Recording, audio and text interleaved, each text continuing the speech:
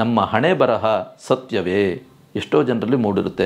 ಓದಿರತಕ್ಕಂಥ ಒಂದು ಫೀಲ್ಡೇ ಒಂದಾಗಿದ್ದಿದ್ರೆ ಮುಂದೆ ಉದ್ಯೋಗವನ್ನು ಮಾಡಿಕೊಂಡು ತನ್ನ ಜೀವನವನ್ನು ಮಾಡಿಕೊಳ್ತಕ್ಕಂಥದ್ದೇ ಇನ್ನೊಂದೇ ಫೀಲ್ಡ್ ಆಗಿರುತ್ತೆ. ಮರಣ ಯಾವ ಸಂದರ್ಭದಲ್ಲಿ ಬಂದೀತು ಹೇಳ್ತಕ್ಕಂಥದ್ದು ಮಾತ್ರ ಯಕ್ಷ ಪ್ರಶ್ನೆಯಾಗೇ ಇರುತ್ತೆ. ಅರ್ಥಾತ್ ಆ ಒಂದು ಗುಟ್ಟನ್ನು ಬ್ರಹ್ಮದೇವರು ಬಿಟ್ಟೇ ಕೊಟ್ಟಿಲ್ವಂತೆ.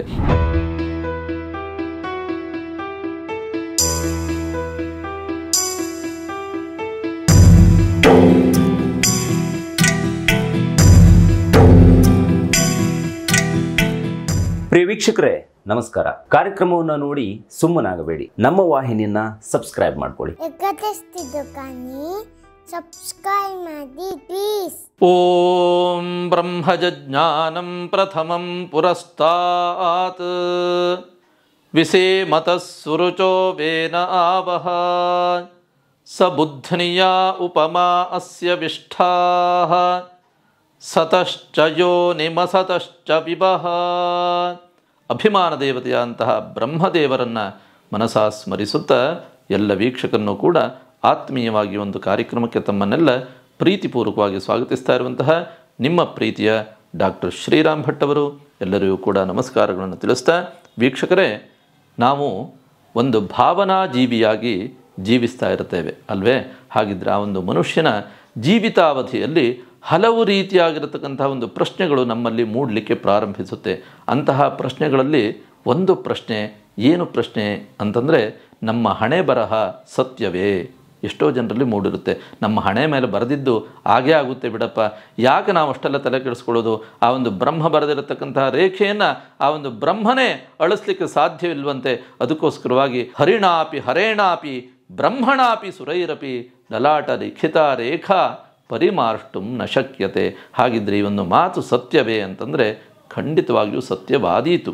ಯಾಕೆಂದರೆ ಅಂತಹ ಬ್ರಹ್ಮ ನಾವು ಹುಟ್ಟತಕ್ಕಂಥ ಒಂದು ಸಂದರ್ಭದಲ್ಲಿ ನಾವು ಮಾಡಿರತಕ್ಕಂತಹ ಪೂರ್ವಜನ್ಮದ ಪಾಪ ಪುಣ್ಯಗಳನ್ನು ಸರಿಯಾಗಿ ತುಲನೆಯನ್ನು ಮಾಡಿ ಆ ಒಂದು ಯೋನಿಯಲ್ಲಿ ಜನಿಸುವ ಹಾಗೆ ಮಾಡ್ತಾನಂತೆ, ಒಂದು ಜನ್ಮವನ್ನು ಕೊಡ್ತಾನಂತೆ. ಅಂತಹ ಜನ್ಮವನ್ನು ಕೊಡ್ತಕ್ಕಂತಹ ಒಂದು ಸಂದರ್ಭದಲ್ಲಿ ನಮ್ಮ ಹಣೆಯ ಮೇಲೆ ಐದು ರೇಖೆಗಳನ್ನು ಬಹಳ ಸ್ಪಷ್ಟವಾಗಿ ಬರೀತಾನೆ ಹೇಳ್ತಕ್ಕಂಥದ್ದನ್ನು ನಾವು ನಂಬುತ್ತೇವೆ. ಏನಪ್ಪ ರೇಖೆ? ಆ ಐದು ರೇಖೆಗಳು ಯಾವುದು ಅಂತಂದರೆ, ನೋಡಿ, ಆಯುಹು, ಕರ್ಮಚ ವಿತ್ತಂಚ, ವಿದ್ಯಾಂ ನಿಧನಮೇವಚ ಪಂಚೈತಾನಿ ಸೃಜ್ಯಂತೆ. ಗರ್ಭಸ್ಥಸ್ಯೈವ ದೇಹಿನಃ. ತಾಯಿಯ ಗರ್ಭದಲ್ಲಿ ಇನ್ನೇನು ನಾವು ಜೀವವನ್ನು ಪಡೆದುಕೊಳ್ಬೇಕು ಆ ಒಂದು ಸಂದರ್ಭದಲ್ಲಿ ಈ ಐದು ರೇಖೆಗಳನ್ನು ಆ ಬ್ರಹ್ಮದೇವರು ಬರೆಯುತ್ತಾನಂತೆ. ಆಯುಹು, ಈ ಒಂದು ವ್ಯಕ್ತಿಯ ಒಂದು ಆಯುಷ್ ಪ್ರಮಾಣ ಸಾಧಾರಣವಾಗಿ ಇಷ್ಟು ವರ್ಷ ಇರಬೇಕು ಹೇಳತಕ್ಕಂಥ ಆಯುಷ್ಯ ರೇಖೆಯನ್ನು ಆ ಒಂದು ಬ್ರಹ್ಮದೇವರು ಬರಿತಾನಂತೆ. ಇನ್ನು ಕರ್ಮ ಹೇಳ್ತಕ್ಕಂಥ ಒಂದು ಎರಡನೆಯ ರೇಖೆ. ಕರ್ಮ ಅಂತಂದ್ರೆ ಏನು? ಎಷ್ಟೋ ಜನ ಏನನ್ನೋ ಓದಿಕೊಂಡಿರ್ತಾರೆ. ಆದರೆ ಮುಂದೆ ಇನ್ನೇನೋ ಉದ್ಯೋಗವನ್ನು ಮಾಡಿ ತಮ್ಮ ಹೊಟ್ಟೆಪಾಡನ್ನು ಮಾಡ್ತಾರೆ. ಅದನ್ನೇ ಕರ್ಮ ಅಂತ ಕರೆಯುವಂಥದ್ದು. ಹಾಗಿದ್ದರೆ ನೀನು ಇಂತಹ ಕೆಲಸವನ್ನೇ ಮಾಡಬೇಕು. ಇಂತಹ ಕೆಲಸದಿಂದಲೇ ನಿಮಗೆ ಅನ್ನ ಸಾಧ್ಯ.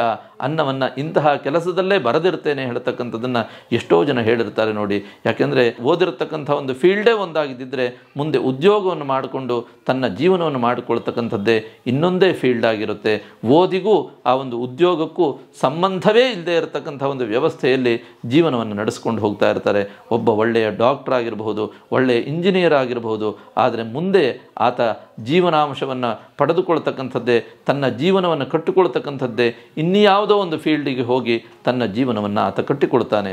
ಹಾಗಿದ್ರೆ, ಹಾಗಿದ್ದಿದ್ರೆ ಮನುಷ್ಯನಿಗೆ ಓದು ಹೇಳತಕ್ಕಂಥದ್ದೇ ಬೇರೆ, ಉದ್ಯೋಗದ ಒಂದು ವ್ಯವಸ್ಥೆಯೇ ಬೇರೆ. ಹಾಗಿದ್ದರೆ ಅಂತಹ ಉದ್ಯೋಗದ ಒಂದು ಚಿಂತನೆ, ಆ ಒಂದು ರೇಖೆಯನ್ನೇ ಕರ್ಮ ಅಂತ ಕರಿತೇವೆ. ಹಾಗಿದ್ರೆ ಆಯುಹು, ಕರ್ಮಚ ವಿತ್ತಂಚ. ನೋಡಿ, ಎಷ್ಟೋ ಜನ ಬೆಳಿಗ್ಗೆಯಿಂದ ರಾತ್ರಿವರೆಗೆ ಕಷ್ಟಪಡ್ತಾರೆ. ಹಾಗಿದ್ರೆ ಆ ಒಂದು ಕಷ್ಟಕ್ಕೆ ತಕ್ಕದಾದಂತಹ ಒಂದು ಪ್ರತಿಫಲ ಇದೆಯೋ ಅಂತಂದರೆ ಖಂಡಿತವಾಗಿಯೂ ಅಂತಹ ಪ್ರತಿಫಲವೇ ಇರೋದಿಲ್ಲ. ಅರ್ಥಾತ್ ಕೊನೆಯಲ್ಲಿ ಶೂನ್ಯವಾಗಿರ್ತಾರೆ. ಅರ್ಥಾತ್ ಲೈಫಲ್ಲಿ ಒಂದು ಇಪ್ಪತ್ತೋ, ಮೂವತ್ತೋ ವರ್ಷ ತಾನು ಕಷ್ಟಪಟ್ಟು ದುಡಿದಿದ್ದೇನೆ. ಒಂದು ನಿಮಿಷವೂ ಕೂಡ ಸಮಯವನ್ನು ವೇಸ್ಟ್ ಮಾಡಿಲ್ಲ, ಫೋಲ್ ಮಾಡಿಲ್ಲ. ಆದರೆ ನನ್ನ ಕೈಯಲ್ಲಿ ಬಿಡಿಗಾಸು ಕೂಡ ಇಲ್ಲ ಹೇಳ್ತಕ್ಕಂಥ ಒಂದು ಭಾವನೆಯಲ್ಲಿ ಹೇಳ್ತಾನೆ, ಮಾತನ್ನು ಆಡ್ತಾನೆ. ಅರ್ಥಾತ್ ಏನಪ್ಪ ಇದರ ಈ ಒಂದು ಮಾತಿನ ಅರ್ಥ ಅಂತಂದರೆ ನಿನಗೆ ಈ ಒಂದು ವ್ಯವಸ್ಥೆಯಿಂದಲೇ ಹಣಕಾಸಿನ ಒಂದು ಚಿ, ಚಿಂತನೆಯನ್ನು ನೀನು ಮಾಡಲಿಕ್ಕೆ ಸಾಧ್ಯ. ಅರ್ಥಾತ್ ನಿನ್ನ ಜೀವನದಲ್ಲಿ ನೀನು ಎಷ್ಟು ದುಡಿತೀಯ ಹೇಳ್ತಕ್ಕಂಥದ್ದು ಮುಖ್ಯವಲ್ಲ, ಆ ಒಂದು ಜೀವಿತಾವಧಿಯಲ್ಲಿ ಎಷ್ಟನ್ನು ಉಳಿಸಿದ್ದೀಯಾ, ಎಷ್ಟನ್ನು ಗಳಿಸಿಕೊಂಡಿದ್ದೀಯಾ ಹೇಳ್ತಕ್ಕಂಥದ್ದು ಮುಖ್ಯ. ಅದನ್ನೇ ವಿತ್ತ ಅಂತ ಕರೀತಕ್ಕಂಥದ್ದು. ವಿತ್ತ ಅಂತಂದರೆ ಏನು? ಹಣಕಾಸಿನ ಒಂದು ರೇಖೆ, ಹಣದ ಒಂದು ವ್ಯವಸ್ಥೆ, ಹಣದ ಒಂದು ಚಿಂತನೆ. ನಿನಗೆ ಏನು ಪ್ರಾಪ್ತಿಯೋ ಅಷ್ಟು ಮಾತ್ರ ನಿನ್ನ ಲೈಫಲ್ಲಿ ಪ್ರಾಪ್ತಿ ಹೇಳ್ತಕ್ಕಂಥದ್ದನ್ನು ಆ ಒಂದು ರೇಖೆ ಅತ್ಯಂತ ಸ್ಪಷ್ಟವಾಗಿ ಸೂಚಿಸುತ್ತೆ. ಎಷ್ಟೋ ಜನ ಕೋಟಿ ಕೋಟಿ ದುಡಿತಾರೆ. ಆ ದುಡಿದಿರ್ತಕ್ಕಂಥದ್ರಲ್ಲಿ ಅಲ್ಪ ಸ್ವಲ್ಪವನ್ನು ಕೂಡ ಉಳಿಸಿಕೊಳ್ಳಲಿಕ್ಕೆ ವಿಫಲರಾಗ್ತಾರೆ. ಇನ್ನು ಕೆಲವರು ಏನು ಮಾಡ್ತಾರೆ ಅಂತಂದರೆ ಏನೋ ಅಷ್ಟೋ ಇಷ್ಟೋ ಹಣವನ್ನು ಲೈಫಲ್ಲಿ ದುಡಿತಾರೆ. ಅದರಲ್ಲಿಯೂ ಕೂಡ ಸೇವಿಂಗ್ಸನ್ನು ಮಾಡಿ ಮಾಡಿ ಆ ಒಂದು ಬಡ್ಡಿಗೆ ಬಡ್ಡಿ, ಬಡ್ಡಿಗೆ ಚಕ್ರ ಬಡ್ಡಿ ಈ ರೀತಿಯಲ್ಲಿ ಲೈಫಲ್ಲಿ ಸೇವಿಂಗ್ಸ್ ಮಾಡ್ತಾ ಮಾಡ್ತಾ ಜೀವನದಲ್ಲಿ ಒಂದು ಒಳ್ಳೆಯ ರೀತಿಯಾದಂಥ ಒಂದು ಹಣಕಾಸಿನ ಒಂದು ಸ್ಥಿತಿಯನ್ನು ಹೊಂದುತ್ತಾರೆ. ಅತ್ಯಂತ ಶ್ರೀಮಂತಿಕೆಯ ಒಂದು ಲೈಫನ್ನು ಕೊನೆಯ ಭಾಗದಲ್ಲಿ, ಜೀವಿತದ ಕೊನೆಯ ಭಾಗದಲ್ಲಿ ಅನುಭವಿಸ್ತಾರೆ. ಹಾಗಿದ್ರೆ ಅಂತಹ ವಿತ್ತ ಹೇಳ್ತಕ್ಕಂಥ ಒಂದು ರೇಖೆಯು ಕೂಡ ಅತ್ಯಂತ ಮುಖ್ಯವಾಗುತ್ತೆ ಅಲ್ವೇ? ಆಯುಹು ಕರ್ಮಚ ವಿತ್ತಂಚ ವಿದ್ಯಾಂ ಅಂತ ಹೇಳ್ತೇವೆ. ವಿದ್ಯಾರೇಖೆ, ಆ ಒಂದು ವಿದ್ಯಾರೇಖೆಯನ್ನು ಕೂಡ ಬ್ರಹ್ಮ ಹಣೆ ಮೇಲೆ ಬರಿತಾನಂತೆ. ನೋಡಿ, ಎಷ್ಟೋ ಜನ ವಿದ್ಯಾರೇಖೆ ಚೆನ್ನಾಗಿತ್ತು ಅಂತಂದರೆ ತುಂಬ ಚೆನ್ನಾಗಿ ಓದ್ತಾರೆ. ಪುಸ್ತಕದ ಒಂದು ಹುಳುವಾಗಿರ್ತಾರೆ ಅಥವಾ ಓದಿನಲ್ಲಿ ಬಹಳದಾಗಿರ್ತಕ್ಕಂಥ ಒಂದು ಆಸಕ್ತಿಯನ್ನು ಹೊಂದಿರ್ತಾರೆ. ಆ ಒಂದು ವಿದ್ಯಾರೇಖೆಯು ಬಹಳ ಸ್ಪಷ್ಟವಾಗಿದ್ದರೆ ಖಂಡಿತವಾಗಿಯೂ ಒಳ್ಳೆಯ ವಿದ್ಯಾವಂತನಾಗ್ತಾನಂತೆ. ಹಾಗಿದ್ರೆ ಎಷ್ಟೋ ಜನರಿಗೆ ಬುದ್ಧಿವಂತಿಕೆಯೇ ಬೇರೆ, ವಿದ್ಯೆಯ ಒಂದು ವ್ಯವಸ್ಥೆಯೇ ಬೇರೆ ಅಂತ ಹೇಳ್ತೇವೆ. ಎಷ್ಟೋ ಜನರು ವಿದ್ಯಾವಂತರಾಗಿರ್ತಾರೆ, ಬುದ್ಧಿಗೂ ಅದಕ್ಕೂ ಸಂಬಂಧವಿರೋದಿಲ್ಲ. ಅರ್ಥಾತ್ ಪುಸ್ತಕದ ಹುಳುವಾಗಿ ಜೀವನ ಪರ್ಯಂತ ವಿದ್ಯೆಯನ್ನು ಚೆನ್ನಾಗಿ ಆರ್ಜಿಸ್ತಾರೆ. ಇಂಥದ್ದೇ ವಿದ್ಯೆಯನ್ನು ನೀನು ಓದಬೇಕು ಅಂತ ಒಂದು ಬ್ರಹ್ಮದೇವರು ಬರೆದಿರ್ತಾನೆ ನೋಡಿ. ಎಷ್ಟೋ ಜನ ಮೆಡಿಕಲ್ ಫೀಲ್ಡಿಗೆ ಹೋಗಿ ತದನಂತರದಲ್ಲಿ ಆಗೋದಿಲ್ಲ ಅಂತ ಫೀಸನ್ನು ಕೂಡ ಕಟ್ಟಿರ್ತಕ್ಕಂಥವರು, ತದನಂತರದಲ್ಲಿ ಇಂಜಿನಿಯರಿಂಗ್ ಓದಿರತಕ್ಕಂಥವ್ರು ಎಷ್ಟೋ ಜನ ಇದ್ದಾರೆ. ಇನ್ನು ಕೆಲವರು ಜನ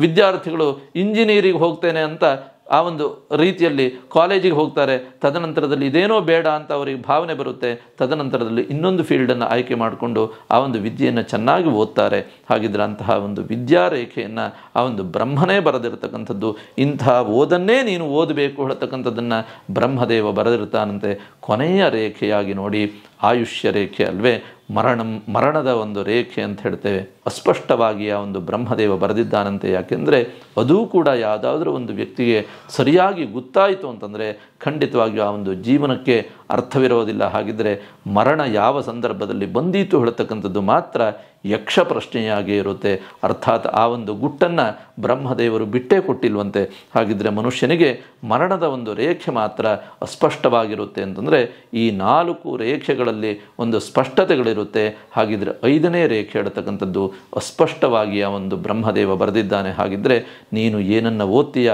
ಎಷ್ಟನ್ನು ದುಡಿತೀಯ, ಯಾವೊಂದು ಉದ್ಯೋಗವನ್ನು ನೀನು ಮಾಡ್ತೀಯ ಇನ್ನು ನಿನ್ನ ಆಯುಷ್ ಪ್ರಮಾಣವೆಷ್ಟು?